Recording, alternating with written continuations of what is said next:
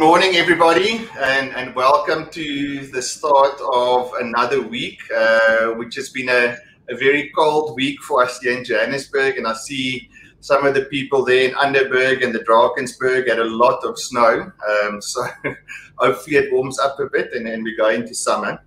Um, this morning, we're welcoming Roelof Botha, Dr. Roelof Botha. Uh, very well-known economist, and I've attended some of his seminars and, and really enjoyed them. Roelof, Dr. Roelof. So welcome once again, and, and we look forward to, to listening to you. I always say it's so important for us that are involved in the property industry to know what is going on in the economy at, at all times. Um, it, it, affects us going forward. So I really look forward to that. And then Liesel, good seeing you again. Hello, good morning, Cor. Yes, lovely to be with you again on this beautiful Monday morning. We have the best weather today. So, yeah, I was also following social media and everybody's posts. A lot of snow, a lot, a lot of cold weather this past weekend. So, yeah, the sun is out. We are blessed to experience another beautiful day in this beautiful country of ours. Um, Dr. Roelof Botha has been um, a, a friend and a colleague for many, many years. We have the utmost admiration for him. So grateful that we have you again this morning, Doc. Thank you for taking us through what's going on. I love the topic post pandemic recovery on track. It just is such a wonderful topic to see on the screen. So thank you for sharing your wisdom, your knowledge, and your positivity with us this morning. So over to you. Right. Uh, thanks for having me and uh, thanks for the uh, brief and concise introduction. Always nice to be involved with Gravensteins. Um, this is uh, not the first time. Uh, I must tell you that uh, your timing is is is difficult because we've just had one of the most horrible year months, if not the most horrible month in our country's history. I don't think any of um, the participants uh, can still believe what happened in July. Uh, that that uh, this country was capable of witnessing such scenes. But then I must tell you that if you do a bit of research, as I was asked to do immediately after the the riots of July, into uh, was there uh, was there what what what happened? You know, what caused this? Is, is, are there some parallels with some other countries? And to my amazement, I found that if you look at the uh, Verisk Maplecroft survey of 130 countries in the world where they assess uh, political risk uh, and the potential for unrest, they found that in 88, I'm going to repeat that, 88 out of the 130 countries had already or were bound to experience heightened socio political and socio-economic conflict and disturbance this year. So we are certainly not alone. In Chile, for instance, um, the rioters destroyed 200 of Walmart's 400 retail outlets. Uh, and it was uh, not only confined to one province, uh, or in our case, uh, you know, one or two places in Gauteng and, and also uh, in Natal, it wasn't throughout the whole province. So it was very specific. And in the words of our president, um, we know who the perpetrators are, because you know in this day of uh, this day of age. Uh, by the way, this is my mobile phone, if you can see it, and we're all in front of our computers, I suppose, or our phones or iPads, whatever the case may be. You cannot destroy evidence anymore; it's in the cloud, uh, and I'm convinced that there will be more arrests, and I'm I'm convinced that it won't happen again. Now, to talk about uh, the prospects of of uh, the economy for the economy this year after July, uh, there I think there are only two things more difficult to do. And those are trying to climb a cliff that is leaning towards you or trying to kiss a lady that is leaning away from you. Uh, they are very intimidating, those two challenges. But I'm going to try nonetheless. And before I forget, my, my central theme today, and, and I'm taking this, I'm taking a leaf out of uh, uh, my book that I wrote last year, uh, proverbially on this on this topic. Last year, in May, June, July, when I was invited to speak to a couple of audiences remotely, obviously, uh, virtually, my message was: do not get stuck in April because April 2020 was probably, and I'll prove that shortly, much worse, much, much worse for the economy than July 2021. Um, and uh, uh, a journalist from uh, Media 24 wrote an article in, in Farmers Weekly where he, where he said, Dr. Botha says, don't get stuck in April because there will be a, a subsequent month and another one and another one and things will recover. And that's exactly what happened. I predicted a V-shaped recovery and the recession of last year lasted one quarter uh, when most of my peers were predicting doom and gloom right up to 2023. You know that a, a pure optimist believes we live in the best of all possible worlds and a pure pessimist fears this is true. Um, we must remember that this country has survived onslaught after onslaught for literally hundreds of years. Uh, and we always manage to come out better and stronger on the other side. So, uh, without further ado, let's have a quick look at whether this post pandemic recovery is on track. I must tell you just uh, uh once more, uh, a bit uh, lightheartedly, that a friend of mine remarked, you know, with, with all this doing and throwing with the lockdown regulations, and then you can uh, you can buy stuff that you need to console yourself with a little bit of a shot in the coffee now and then. it, it was very disjointed in the beginning, the lockdown regulations and the way they handled that. And somebody told me that he gets the impression that some of these uh, command council members were so narrow minded that when they look through a keyhole, they use both eyes. but that's just uh, on a lighter note. Let's have a quick look at the reality. And I'm, I don't want to labor this point because all you need to do is to have a look at the newspapers or listen to the news quite regularly, depending on which station you're listening to, or uh, and so on, to realize uh, we all appreciate the fact that we've had a decade of suboptimal growth. And as an introductory remark, I think what I'm going to say right now is incredibly important, with a, a view to providing us with a more balanced and objective perspective of what is likely to happen the rest of this year and next year and probably after that, at least in the medium term. And that is that we must not forget that a tremendous amount of this country's current problems and challenges are a result of a decade of state capture, corruption, and theft under the Guptas. And I think we all appreciate who they are. You've watched the Zondo Commission. Um, uh, our previous president has no regard for the law whatsoever um, he appointed the most incompetent bunch of crooks, and, and there's no other word for it, to head most of our state owned enterprises, the key ones. Uh, and he himself had one goal in mind, and that's to try to stay out of jail, which he didn't succeed uh, at. And, it, and President Ramaphosa cannot, him and his team, they cannot overturn this in one year or two years or three years, especially not if you get hit by COVID, by the worst pandemic in 100 years. So we, we have to be a little bit patient and we have to appreciate the fact that there has been more than 100 arrests. Some people have gone to jail. More will go to jail this year and next year. I've got no doubt about that. The National Prosecuting Agency is up and running again uh, and acting in the best interests of the country and not in the best interests of a couple of politicians anymore. This is behind us, and as we move into the future, we will see progress on that score. But we are paying a price for that because for a decade there was inadequate expenditure on infrastructure.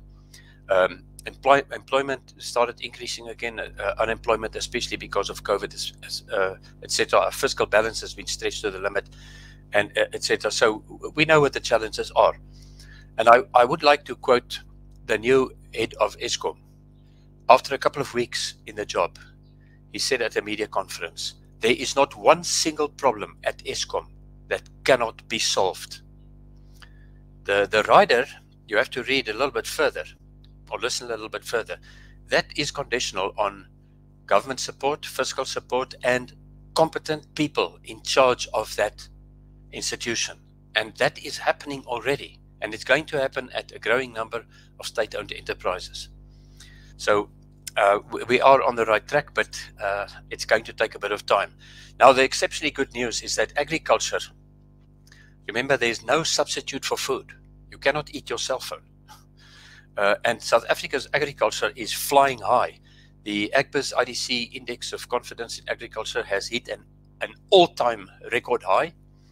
Uh, we've seen, if you just look at the last decade, despite uh, the state capture, the value of output of key agricultural groups, all four of those key groups, has just uh, continued to increase. Our farmers, without a shred of fiscal assistance from our government, compared to 40% assistance in countries like, uh, in most countries in Western Europe, 45% in France. That's the kickback uh, on cost of production that farmers uh, in other parts of the world get from their governments. Uh, in South Africa, zero. In fact, it's a negative rate of uh, of assistance. Despite that, uh, they they are, are still um, doing well. The, the, the sector as a whole's gross operating surplus is growing faster than the rest of the economy. There you can also clearly see that. And uh, our farmers, if, if, you want to build a monument for somebody, you can build a, a monument for a farmer that, that, gets up at four, five o'clock in the morning, winter and summer, uh, and make sure that we have food on our table. Well done to our farming sector. And by the way, our farming and processed food exports have also reached new record highs. So the impact of a receding pandemic. Now, the pandemic is not over. COVID is, is not going to disappear overnight, but we will be able to manage COVID in future. And as I said earlier, as we move into the future, its impact will become less and less. Uh, this is, uh, if, if Corin and Liesel had asked me to, um, because of time constraints, to only use five slides, I would probably have chosen this as one of the five because, um, and I've written uh, extensively about this, recently. Those of you that get uh, Network 24, Media 24, um, the Burger, uh, the Beeld uh, this morning, my my column is in uh, that, that uh, Sake 24 uh, column. Uh, I have to write that because I won that competition a couple of years back.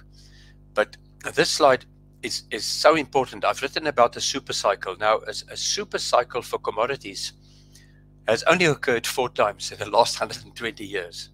Uh, and the upward trend, because remember, a, a, commodity price cycle has an upward trend and then a downward trend, and that completes the cycle. And until a couple of years ago, most of the economists that study this terrain were of the opinion, and you can actually see that in the slide.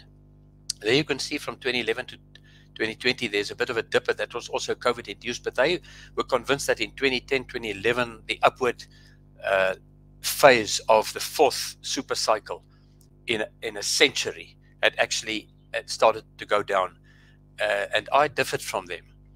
And and um, I don't always get it right, but when I do, I tell people. Uh, but we are still very much on in in the upward cycle, and that is such good news for South Africa. Also, good news is that our largest trading partners by value added exports is not China all China buys from this country is iron ore and coal. They're not interested in the rest.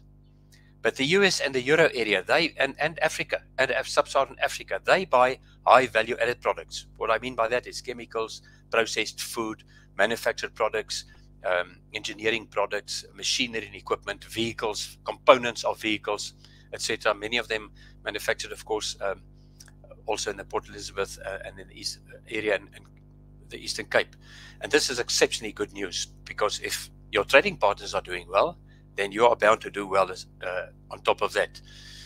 In the fourth quarter of last year, something which I predicted, our economy's total output was exactly the same in real terms as it was in the fourth quarter of 2019, before the pandemic. This is a remarkably swift recovery, and I, I have to add, not for all sectors all the key sectors came to the party, but there are subsectors, tourism, hospitality. I think we all know exactly what I'm talking about, which have been hit exceptionally hard. Uh, and it will still take another quarter or two for them to fully recover. But with a bit of luck, with a little bit of luck, we will see droves of European uh, visitors, tourists visiting our shores uh, during our summer holiday season. That would be fantastic news especially for employment creation. Now, uh, this slide is, is uh, extremely important to view from the perspective of April, May last year. In April, May last year, this benchmark uh, purchasing managers index, it's composite, so it uh, it means services and manufacturing, which is arguably 85, more or less 85, 90% of the economy, depending on which country you're talking about. But South Africa is, is uh, more or less in line as far as that's concerned with our European trading partners. That took uh, its biggest dip ever in April, May last year. We all know why. And then it, it recovered quite spectacularly, and it was at a much significantly higher level than it had been prior to the pandemic. And then came July. But if you look at July, which is still about 47, back to about 30, 32 and a half uh, in May, uh, we are still a hell of a lot better off. And from that point, from this July point onwards, especially with the relaxation of the lockdown regulations, because remember, we got hit from all sides in July. We got hit with uh, the Arctic blast. I think some of us remember that. Well, it was a cold winter, and so and such a long winter. Uh, and then we had the riots, and and uh, and we throughout the whole of July we had uh, uh, lockdown, more stringent lockdown regulations. If we look at the Absa BER, our purchasing managers index, this is only for manufacturing, exactly the same trend. Took a knock in July, still magnificently better than in April last year, and likely to recover very quickly as well. So the message that I have is don't get stuck in July. Don't uh, please don't think that July is our benchmark going forward. July was, as we say in Afrikaans, uitskieter. It's something which, with a little bit of luck, very little bit of luck, will never happen again. Uh, we should hope and pray for that, quite frankly. This is would have been one of my five slides if I'd been restricted to five slides, without a shadow of doubt. This is South Africa's leading composite business cycle indicator. It's quarterly averages. And what I like about this slide, it tells us a little bit of a story about our recent history. There you have the Nene dismissal when we had a finance minister for a weekend. I mean, uh, that will hopefully not happen again, a weekend special. Um, there was Ramaphosa's victory, uh, an upturn. That was that after the Nene dismissal, that was Pravin Gordhan taking over finance again, Department of Finance. Uh, then there was a bit of a disillusionment with the fact that things were uh, economic, new, new economic policies that we'd been promised were slow in, in the making, and then came COVID. Look where we are now, an all-time record. Uh, and this is uh, this is data of substance because it's a composite indicator. It includes a lot of other key economic indicators. And if we take a look back to just prior to our first democratic elections in the beginning of 1994, and you look at this, the blue line is, is the leading business cycle indicator, and the red line there is the per capita income trend in real terms, uh, which took a serious knock, obviously, in COVID, and it is already recovering. And the two of them are correlated. So if the leading business cycle indicator moves to a record high, it will take another dip or two because of what happened in July, but it is bound to follow that track again, then my common sense and uh, macroeconomics and econometric analysis tells me that per capita incomes will increase over the next couple of years without a shadow of doubt. And that, by the way, is good for property. It's good for everything in the economy, more or less. Our exchange rate um, since 2020 um, took one hell of a knock in April last year. And since April 2020, the Rand has, has strengthened by 30%, but it will remain volatile. Uh, so be careful when it comes to foreign exchange because the, the Rand's value is not only determined by what happens here in our economy and with politics, it's determined very much by what happens to the United States dollar and what happens in other parts of the world. It is still one of the 20 most traded currencies in the world. So it is bound to, uh, just like the Brazilian real, uh, the Turkish lira, South Korean won, Mexican peso also to experience a, a degree of volatility. The real effective exchange of the uh, exchange rate of the rand, if you compare it to its long-term average, this is now when you freeze out inflation and you compare it to a basket of currencies of our major trading partners, that is on its way back to uh, its long-term average and possibly also, as has happened on three occasions since our democratic elections, overvalued territory, but the rand is still about 8% undervalued at this point in time. Um, here you can see uh, other currencies against the dollar between April last year and 31 May 2021, and the South African rand is numero uno. That's uh, one of the reasons I have my 95 World Cup tie on. That's the first time we won the World Cup, not the last time. uh, and we are still, uh, we still have the number one rugby side. I think the rugby matches of the last um, fortnight have been very good for our national psyche. Formal employment took one hell of a beating, just like happened in every other country of the world, and it's slowly but surely recovering. Those of you that saw the estimates of 10,000 jobs lost uh, in July because of the riots, uh, I'd just like to remind you that the overwhelming majority of those jobs are, have been lost temporarily as those businesses recover, as those businesses are restocked, rebuilt, repaired, those jobs will be established again. And I can guarantee you there will be an increase, a substantial increase in the number of security industry jobs because one will have to, just for safety, make sure that there is more access, better access control, uh, etc. in future. So uh, that is only a temporary setback. Uh, the short-term insurance industry is doing exceptionally well. I don't know about uh, you guys and girls watching today, but uh, I try to drive as, as little as possible because I didn't want to end up in an accident or in hospital. And of course, with the uh, closure of some of the liquor outlets, they were that also assisted in much less accidents. So the short-term insurers, their premium income uh, took a bit of a knock. It still grew, but they did accommodate people to some extent, except when it came to the business interruption claims. They were a little bit sticky, but they've been um, clubbed by the courts as far as that's concerned. But their claims, that gap between premiums received and claims, uh, obviously uh, increased, and that's that's good news. And if your short-term insurance industry is in good shape, then that is a good sign for the economy in general. The value of billing plans passed by larger municipalities increase. This is obviously good for the um, uh, longer term uh, supply chain for property.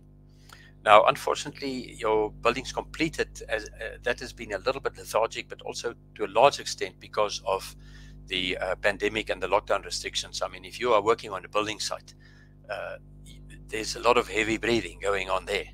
Uh, so once somebody has COVID, the rest of them are probably going to stay away for quite a while.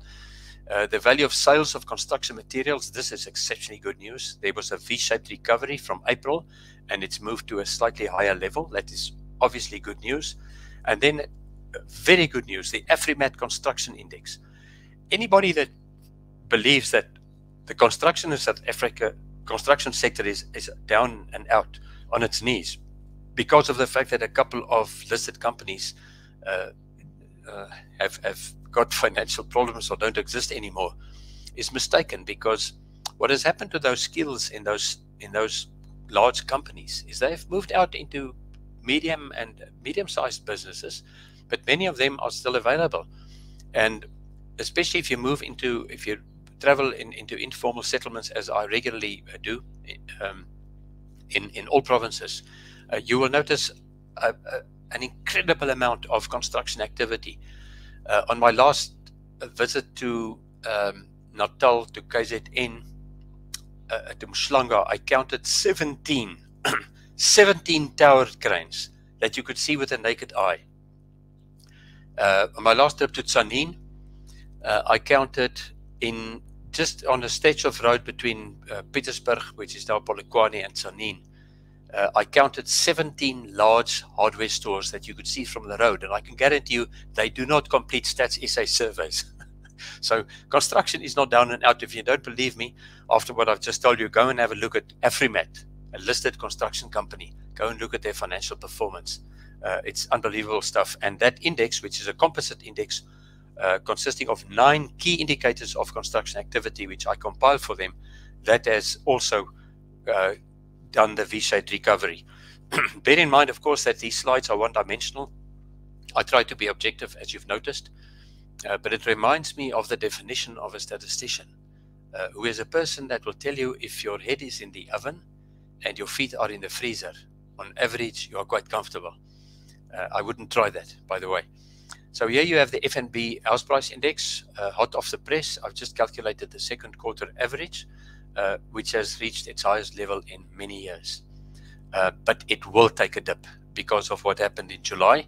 But still, once again, I mean, the V's, the V-shaped recoveries from just before the pandemic to the worst of the pandemic to where we are today is evident in virtually every single indicator, key indicator in South Africa. Uh, change in the average monthly value of mortgage advances, also moving back to where it should be in terms of its um, the, the amount, very close to double-digit figures um, on a monthly basis in billions of rand. I mean, that is not bad going, and this has obviously fueled demand in that sector. And then the JSE All Share Index reaches a new record high. The significance of this slide, plus the super cycles upward phase, which is still in motion, is that government has received such a bonus in the form of dividend tax. It's unbelievable. Uh, anybody out there that has directly or indirectly um, shares in resources companies, I'm not going to mention their names, but you can just follow the media on MoneyWeb and look at record dividends being paid by these companies. And of course, government takes 20% of that. You you get 80%, which is, I suppose, not too bad. It could have been worse. Uh, but this has made it possible for government to extend the COVID relief and also to assist the businesses that were damaged uh, in, in the unprecedented and politically motivated uh, unrest that we had in July. Um, the index of new number of vehicles sold, also V-shaped recovery, household disposable income recovers, another V-shaped recovery, real salaries and wages, private consumption expenditure, you name it. It's a V-shaped recovery your real gross operating surplus for the finance and business sector has more than recovered on an annual basis, fourth quarter of last year, and transport and communication almost at 100%. Here you can see some of the changes uh, of uh, commodities between the second quarter of 2020 and March this year. Uh, and many of our export products are in here. This is these growth rates are spectacular. I mean, we're talking here about just below 10%, right up to, uh, you know, doubling your money. Uh, this is not bad going. Uh, and it shows no signs of tapering off. It will take a little bit of a dip from time to time. Um, and our export growth is not confined to minerals and, and metals. It's also vehicles and components, also aggregate food, and also base metals and even chemicals as well. Your average monthly value of exports new all-time record high and predictably an all-time record high for our trade surplus. What this means is that we have fundamental balance of payment stability. What this means is that the rand is likely, despite a bit of volatility, to retain its value against the dollar and other major currencies, which means that there is, except for some supply chain disruptions, the Reserve Bank uh, will probably keep interest rates exactly where they are because that is arguably the strongest driver of for the property sector. There you can see the value of exports and imports uh, for the first six months of the year. Now, uh, as you will notice, our imports until 2019, we had a uh, not a large, but we had a we had a significant trade deficit. Trade deficit. In other words, we were importing more than we were exporting. And then in 2020, it turned around. Look what's happened now. I mean, this is uh, quite incredible. I think in percentage terms, there's not a country in the world that can match us, quite frankly. And don't forget that platinum, rhodium, and palladium have a huge role to play in making the world, the world's economy greener in the next decade or two. And South Africa is the biggest supplier of those products. So uh, they, we could be in for uh, huge growth in, in new embryonic industries in this country, especially in metal and mineral beneficiation. Um, there you can see the best news possibly, and that is that the prime rate is at its lowest level in 50 years, 5 0. Uh, I, I, don't think many of our uh, viewers today um, were around 50 years ago.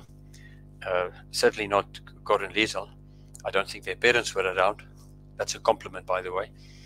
Uh, but I can remember that. Private sector credit extension, one of my few concerns is that, uh, and I hope somebody who has the ear of the Monetary Policy Committee, the Reserve Bank is listening or, or looking, uh, please tell them that there's scope for interest rate reductions, as far as I'm concerned, because total private sector credit is still not coming to the party. GDP growth forecasts. I'm nearing the end. If you look at the FinMedia Economist the Year panel, they say uh, forecasting is uh, difficult, uh, especially about the future. Uh, but uh, these institutions, and I represent the Optimum Investment Group, um, that's where my um, I shifted my pension to a couple of years ago uh, from UJ and, and, and some of my savings. If I'd done that five years earlier, I would have been able to uh, drive a Ford Mustang V8 today. But uh, better late than never. And if you and I'm usually the most optimistic forecaster, by the way. And now I'm number two. I, am going to have to have a word with Johan Els at Old Mutual uh, and see what's happening there. But everybody uh, who knows their way around economics is expecting a bumper growth year despite what happened in July. And I'd like you to remember that. Don't get bogged down in July. Look at the rest of this year and into 2022. Property market trends. Just a couple of, and I'm not going to elaborate this because I'm convinced that uh, most of you, if not all of you, have got access uh, to FNB's property barometers uh, and some research that I've done uh, uh, in addition to this. But uh, this this makes for very good reading. Availability of credit um, will continue to support price growth. It's the the loan to price ratio is is currently the highest in 12 years. The banks are not as sticky as they used to be, and believe me, they can be sticky. I think we all appreciate that. Uh, time on the market is eight weeks compared to 13 week average long term. Uh, discount on asking price drops. Uh, this discount on asking price has declined to 9%, the long term average 10%. So, yeah, that was the first quarter. It dropped further in the second quarter. State agent sentiment uh, was up in quarter one to 75. It improved further. It'll take a dip in the third quarter, make no mistake about that, but it'll probably recover back to that level as far as I'm concerned. Their expectations, uh, this is intriguing. If you look at the state, uh, this this um, indicator published by FNB, and you look at the lockdown restrictions, there's a definite correlation. Their activity rating out of a score of 10 at 6.6 is still higher than the 10 year average. 60% uh, of agents were upbeat over affordable market growth for the rest of this year. That was now in the second quarter uh, survey conducted by FNB. And downgrading due to financial pressure remains the key reason for selling. Uh, 21%, and that obviously ties into that 60% one as well.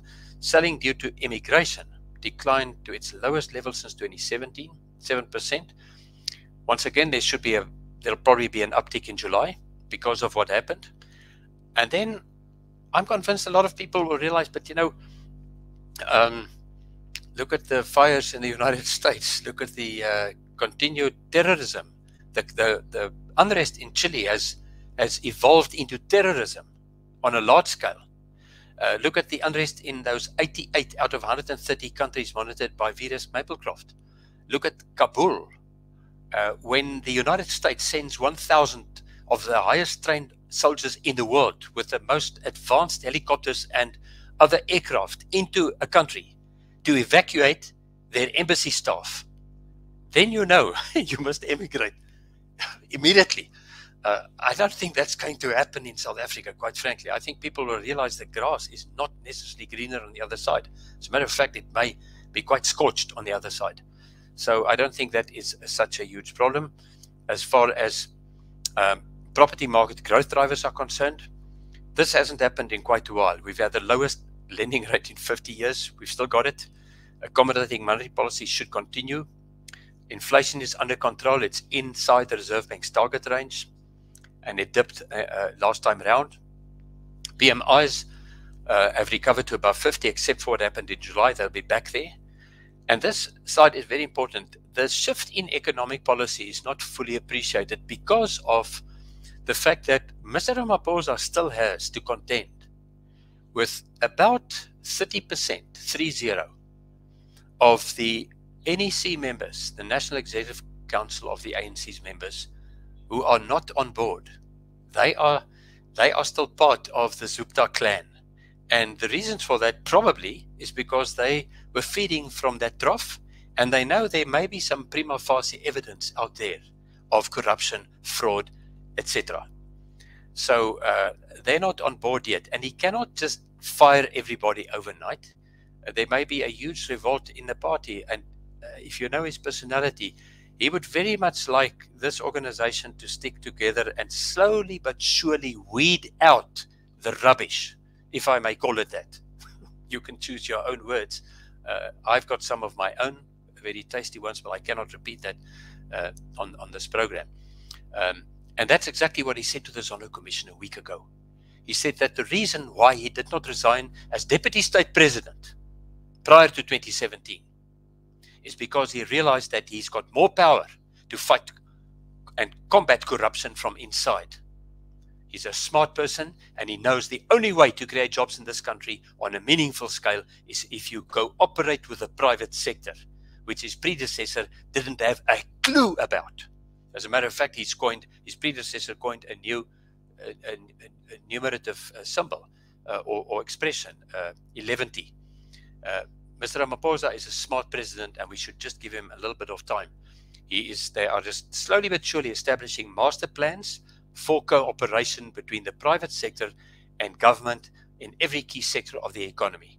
And now is the time for the private sector to come to the party and through their employer organizations and other fora to come and tell government, okay, these are the obstacles to growth.